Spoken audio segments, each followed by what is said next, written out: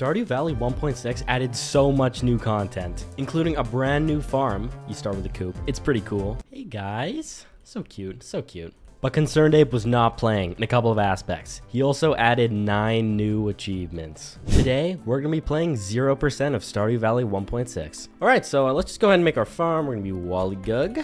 Our farm name is going to be 0%. My favorite thing is going to be subscribing. I'm going to go ahead and name the farm 0%. My favorite thing is going to be subscribing, as always. Let's check out the new cat, too. We actually had a couple of new cats. We're going to go with the emo cat. Some things never change, though. I'm going to make uh, my normal character with a one very small addition. We're going to go with the raised eyebrow because it goes hard as hell. And we're going to skip the intro and choose the new farm. All right, so uh, here we go. Thanks so much for watching, guys. That is me playing 0% of Stardew Valley 1.6. Hope you guys enjoyed.